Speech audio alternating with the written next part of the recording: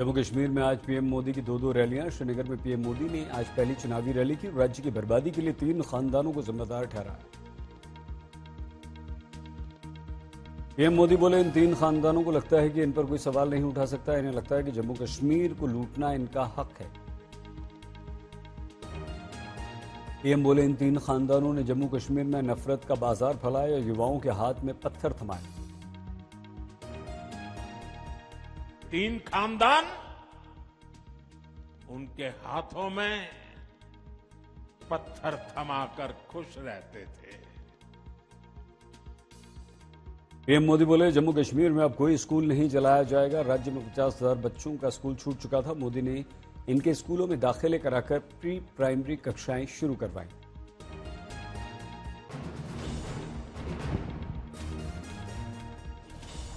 PM बोले, जम्मू कश्मीर का युवा अब मजबूर नहीं, मोदी सरकार में मज़बूत है।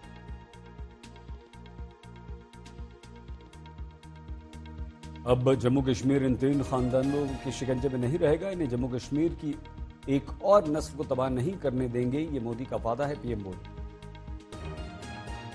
पीएम मोदी ने कहा, तीन खानदानों ने जम्मू कश्मीर में जमहूरियत और कश्मीरियत दोनों को कुचल दिया। सुनिए। इन तीन खानदानों को लगता है, जैसे तैसे कुर्सी पर कब्जा जमाना, और फिर आप सबको लूटना। ये इनका पैदाइशी हक है। बीजेपी ने जारी किया हरियाणा के लिए 20 सूत्रीय संकल्प पत्र, रोहतक बीजेपी के अध्यक्ष जेपी नड्डा ने रोहतक में संकल्प पत्र जारी किया। हरियाणा में किसानों के लिए बीजेपी का बड़ा ऐलान 24 फ़सलों की एमएसपी पर होगी अब खरीद। हरियाणा में बीजेपी ने महिलाओं को लाडो लक्ष्मी योजना के तहत हर महीने दो हज़ार रुपए देने का ऐलान किया। बीजेपी का वादा, हर घर गृहिणी योजना के तहत हरियाणा में महिलाओं को पाँच सौ रुपए में मिलेगा गैस सिलेंडर। हरियाणा के युवाओं से बीजेपी का वादा, दो लाख युवाओं को बिना खर्च बिना पर्ची दी जाएगी नौकरी। हर हरियाणवी अग्निवीर को सरकारी नौकरी का मिलेगा लाभ। बीजेपी ने फरीदाबाद गुरुग्राम के बीच इंटरसिटी एक्सप्रेस सेवा चलाने का भी वादा किया। नड्डा ने कांग्रेस के घोषणा पत्र को कहा छलावा। कांग्रेस पर ज़मीन घोटाले, ज़मीन का लैंड यूज़ चेंज कर उसे हड़पने का लगाया आरोप। उनके लिए यह डॉक्यूमेंट महज एक रिवायत को पूरा करना है। और उनके लिए ये डॉक्यूमेंट लोगों के साथ छलावा करना दिल्ली में आतिशी सरकार के मंत्रियों के नाम आए। सौरभ भारद्वाज, गोपाल राय और इमरान हुसैन बनेंगे मंत्री। आतिशी सरकार के मंत्रियों में नया चेहरा हुआ शामिल। मुकेश अहलावत मंत्री पद की शपथ लेंगे। 21 सितंबर को लेंगे शपथ।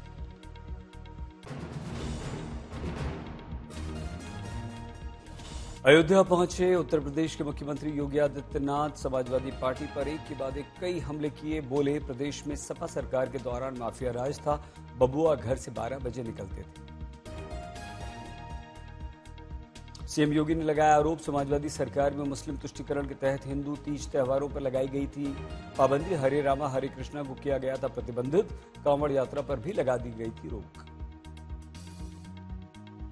हरे रामा हरे कृष्णा की धुन कुछ लोगों को पसंद नहीं थी इसलिए समाजवादी पार्टी इसको बैन करती थी। कांवड़ यात्रा पे रोक लगाते थे।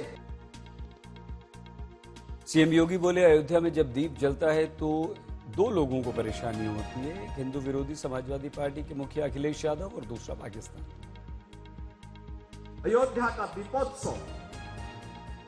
अयोध्या के मंदिरों में अयोध्या के घाटों में जब दीप जलते हैं तो परेशानी दो लोगों को होती है। एक सपा मुखिया को और दूसरा पाकिस्तान को।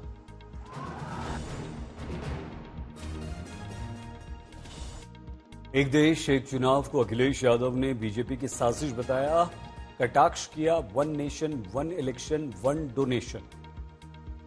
Akhilesh Yadav ने योगी पर भी कटाक्ष किया। बोले वो यूपी के सीएम नहीं मठाधीश सीएम है। समाजवादी पार्टी पर सीएम योगी की माफिया वाली टिप्पणी का अपने अंदाज में अखिलेश ने जवाब दिया। वो कई बार बोल चुके हैं। अच्छा आप बताओ। नहीं नहीं आप देखिए मेरी भी तस्वीर देख लो आप और उनकी भी तस्वीर देख लो। माफिया कौन लगे बता दो। अखिलेश यादव बोले यूपी में एसटीएफ की चल रही है ठोको नीति। आदमखोर भेड़ियों को मारने के लिए भी एसटीएफ का हो रहा है इस्तेमाल।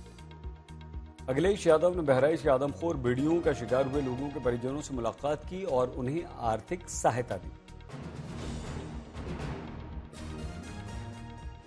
बीजेपी अध्यक्ष जेपी नड्डा का कांग्रेस अध्यक्ष मल्लिकार्जुन खड़गे को जवाबी पत्र राहुल गांधी पर लिखा जिस व्यक्ति का इतिहास ही देश के पीएम समेत पूरे ओबीसी समुदाय को चोर कहकर गाली देने का रहा उसे थे सहराने की कोशिश क्यों? नड्डा का प्रश्न, कांग्रेस राहुल गांधी पर किस बात का गर्व करती है? क्या इसलिए कि वो पाकिस्तान परस्त भारत विरोधी लोगों के साथ गलबैया करते हैं? नड्डा का एक और प्रश्न, खड़गे जी, क्या राहुल कांग्रेस या इसलिए राहुल पर गर्व करते हैं कि वो आतंकवादियों के समर्थन वाले कार्यक्रमों में जाते हैं? पत्र में नड्डा ने खड़गे से पूछा, जिसने संसद में देश के पीएम को डंडे से पीटने की बात कही, जिसकी दुष्ट मानसिकता से पूरा देश परिचित उस राहुल को सही ठहराने की कोशिश आप किस मजबूरी के चलते कर रहे हैं? नड्डा ने खड़गे से सवाल किया, जब राहुल ने सरेआम मोदी की छवि को खराब कर देंगे वाली बात कही थी तो राजनीतिक मर्यादा को किसने खंड खंड किया था खड़गे जी? नड्डा ने लिखा, राहुल देश तोड़ने वाली शक्तियों से समर्थन मांगते हैं, विदेशी शक्तियों से देश के लोकतंत्र में हस्तक्षेप की मांग करते हैं। नड्डा ने राहुल पर 370 के समर्थन, सनातन संस्कृति के अपमान, आरक्षण, जाति की राजनीति, समाज को बांटने, भड़काने का आरोप लगाया। नड्डा ने लिखा, खड़गे जी की अपने नित्य निरंतर फेल्ड प्रोडक्ट का बचाव करना और उसे वहाँ मंडित करना मजबूरी है, लेकिन कांग्रेस अध्यक्ष होने के नाते आपको इन चीज़ों पर आत्ममंथन करना चाहिए। नड्डा ने पत्र में सोनिया गांधी पर भी वार किया, लिखा कि राहुल की माँ सोनिया गांधी ही थी। न खड़गे जी, जिन्होंने मोदी जी के लिए मौत का सौदागर जैसे अत्यंत असभ्य अप शब्दों का प्रयोग किया। इससे पहले केंद्रीय मंत्री रवनीत सिंह बिट्टू के राहुल गांधी को आतंकी कहने पर कांग्रेस अध्यक्ष मल्लिकार्जुन खड़गे ने प्रधानमंत्री नरेंद्र मोदी को पत्र लिखा था। जेपी नड्डा ने उसी पत्र पर खड़गे को जवाबी पत्र लिखा है। खड़गे के पत्र पर नड्डा के जवाबी वार के बीच बीजेपी आईटी सेल के हेड अमित मालवीय ने भी कांग्रेस पर करारा वार किया। अमित मालवीय ने ट्वीट में पाकिस्तानी रक्षा मंत्री के बयान का हवाला दिया। अमित मालवीय ने लिखा, पाकिस्तान एक आतंकी देश है, कश्मीर पर कांग्रेस नेशनल कॉन्फ्रेंस की नीति का समर्थन करता है। अमित मालवीय ने भी प्रश्न किया, ऐसा कैसे है कि पन्नू से लेकर पाकिस्तान तक राहुल और उनकी कांग्रेस हमेशा भारत के हितों के विरुद्ध खड़ी दिखती है? राहुल गांधी ने नवादा अग्निकांड पर ट्वीट किया 80 से अधिक परिवारों के घरों को नष्ट कर देना बिहार में बहुजनों के विरुद्ध अन्याय की डरावनी तस्वीर को उजागर कर रहा है।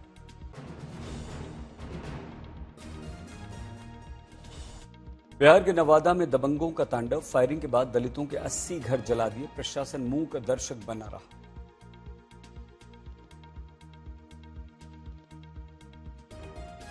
ज़मीन है लोग कहा कि मेरा बाप दादा के ज़मीन है, हम लोग नहीं भागेंगे। तो अभी गोली फायरिंग का तो हम लोग फिर भाग गए जान के डर से थी काटा में नुक गए कहा कि अब हम लोग के जीवन बचेगा तो फिर हम लोग जाएँगे वहाँ पर अपना जमीनी विवाद को लेकर हुआ हंगामा, घटनास्थल पर भारी संख्या में पुलिस बल तैनात। पुलिस ने आगजनी कांड के मुख्य आरोपी नंदू पासवान समेत पंद्रह लोगों को गिरफ़्तार किया। नवादा में ज़मीन विवाद को लेकर महादलितों के घर जलाने पर छिड़ा राजनीतिक घमासान। पुलिस अब सिर्फ़ 21 घर जलने का दे रही है हवाला।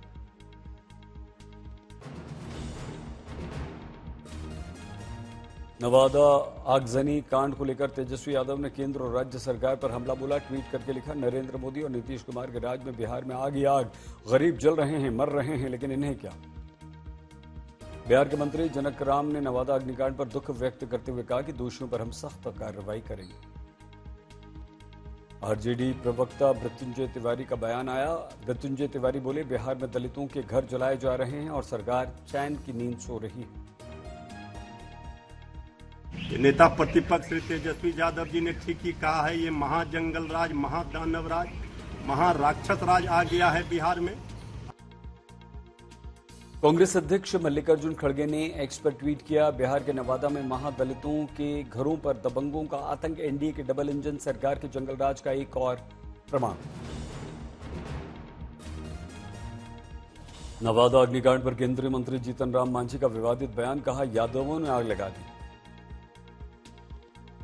यही विरोधी दल के लोग और खास करके जो यादव समाज के लोग हैं, वे लोग ज़मीन के ये में एक आध दो दुसार जाति के लोगों को अपना पक्ष में कर करके उनको आगे बढ़ा करके यहाँ घटना का अंजाम दिया है। केंद्रीय मंत्री जीतन राम मांझी के बयान पर तेजस्वी यादव का पलटवार। तेजस्वी यादव बोले बिना तथ्यों के न दे बयान। दिल्ली से लेकर बिहार तक उनकी सरकार है। दोषियों को जेल में डालने से इन्हें किसने रोका है? दिल्ली से लेकर के बिहार तक तो उन्हीं की सरकार है। जिन लोगों ने आग लगाई जाओ। पकड़ो जेल में डालो क्या दिक्कत है? लेकिन बिना तथ्यों के जानकारी के कुछ भी नहीं बोलना चाहिए। पूर्णिया से निर्दलीय सांसद पप्पू यादव ने कहा दबंग का कोई जाति धर्म नहीं होता समाज के दूषित लोग दबंग कहलाते हैं। भीलवाड़ा में देशद्रोही नारे लगाने का आरोप सांप्रदायिक तनाव बना आक्रोशित ग्रामीणों ने कई छोटी बड़ी दुकानों में आग लगा दी। अकोला में गणपति विसर्जन के दौरान पत्थरबाजी में पैंसठ लोग गिरफ़्तार। घटना के बाद इलाके में तनावपूर्ण शांति। राजस्थान के दौसा में 600 फीट गहरे बोरवेल में गिरी ढाई वर्ष की बच्ची, सुरक्षित बाहर निकाली गई। अमृतसर में निहंग ने तोड़ा युवक का हाथ। पीड़ित युवक का कहना है कि वो निहंग को नशीला पदार्थ बेचने से रोक रहा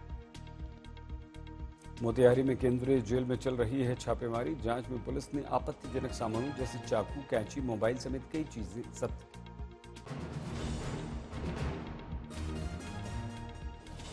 वाराणसी में भारी बारिश के कारण गंगा नदी का बढ़ा जलस्तर, तुलसी घाट से तस्वीरें सामने। अयोध्या में सरयू के किनारे शमशान घाट पर पानी भर गया, लोग निराश होकर शव लेकर भटकते दिखे। बेगूसराय में पिछले 24 घंटों में गंगा के जलस्तर ने चेतावनी रेखा को पार कर लिया, गाँव स्कूलों में कमर तक पानी भर गया। बेगूसराय में आज से शुरू हो रही परीक्षाएँ बाधित हुई, बाँध पर इंतज़ार कर रहे शिक्षक डीआरसी वापस लौटे। यूपी के चंदौली में बिहार को जोड़ने वाले पुल में दरार पड़ी, नदियों का जलस्तर बढ़ने से, दबाव से पड़ी दरार को रोका गया। मूसलाधार बारिश से उड़ीसा के कई जिलों में स्थिति खराब, बालासोर और मयूरभंज में बाढ़ की स्थिति। सुवर्ण रेखा नदी में उफान से 250 गाँवों में पानी भर गया। पश्चिमी मिदनापुर में ममता बनर्जी ने बाढ़ प्रभावित इलाकों का निरीक्षण किया, स्थिति का जायजा लिया। प्रयागराज में गंगा यमुना का जलस्तर अब भी खतरे के निशान के ऊपर। दारागंज का गहरा घाट के बजाय सड़क पर किया जा रहा है लोगों का अंतिम संस्कार। मिर्जापुर में भारी बारिश का कहर, कई इलाके पानी में डूबे जगह जगह बाढ़। उदयपुर में नाव में शव रखकर सोम नदी पार की गई। पुलिया नहीं होने से लोग परेशान। कानपुर के पहाड़ी मैदानी इलाकों में भीषण बारिश, गंगा का जलस्तर लगातार बढ़ रहा है। यूपी के शाहजहांपुर में बाढ़ ने ग्रामीण क्षेत्रों के एक दर्जन गाँवों को अपना निशाना बनाया। नरोरा बैराज से भारी मात्रा में छोड़ा गया पानी। उत्तर प्रदेश के चंदौली से होकर गुजरने वाली गंगा और उसकी सहायक नदी कर्मनाशा का बढ़ा जलस्तर, तटवर्ती इलाकों में पानी घुसने से धान और सब्ज़ी की फ़सलें बर्बाद।